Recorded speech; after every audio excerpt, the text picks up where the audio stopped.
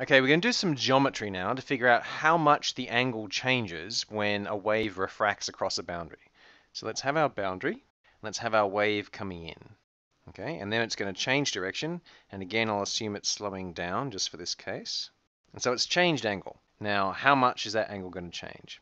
The way we normally measure the angle is we measure the angle from the direction the wave is going. And if the wave fronts are looking like this, then it's actually traveling at right angles to that. So it's actually traveling in that direction. Okay, and that distance is the wavelength. So that's wavelength 1 for the wave when it's going at speed c1, and when it's going at speed c2, it's going to have a different wavelength, lambda 2, wavelength 2. If we look at the angles in there, so if we look at this angle here, and this angle here, theta 1 and theta 2, now what we can say is we can say that the sine of theta 1 is this wavelength divided by that length there. That's the definition of sine. So sine theta 1 is the first wavelength divided by this distance. Let's call that distance L. And similarly, sine of theta 2 is just going to be that length divided by that length, which is just lambda 2 divided by L. And if we rearrange for L, and obviously L equals L, and therefore the right-hand sides equal each other. And so if we set the two right-hand sides to be equal to each other, then we get... So what we have here is a relationship between the angle of the wave as it comes in towards the boundary and the angle as it goes away from the boundary after it goes through. And all it depends on is the wavelength as it comes in and the wavelength on the other side.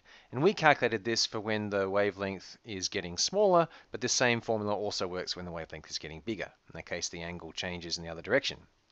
Now, if we take both of these sides of the equation and multiply by the frequency, and remember the frequency can't change on each side because it's the number of cycles per second, and there's nothing about the speed that's going to change how many cycles we're making the wave do every second. And if we take the frequency times the wavelength, then we get the speed.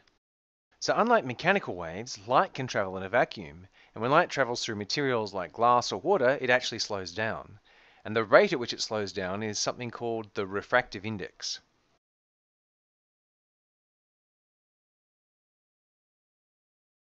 So what happens when a light ray comes to a boundary? Well, if it comes in at one angle, turns out it also bends. And so if it goes from a refractive index of n1 to a refractive index of n2, then that's going to change the speeds. And if you do your geometry, you can see that this angle here is exactly the theta 1 we had in our other diagram above, and that this angle here is exactly our theta 2. And if you look at the relationship between the angles as light goes through a boundary between materials of different refractive index, what you find is that it follows something called Snell's law. And if you plug in the definition of the refractive index into these two here, then this exactly gives you the Snell's law relationship there.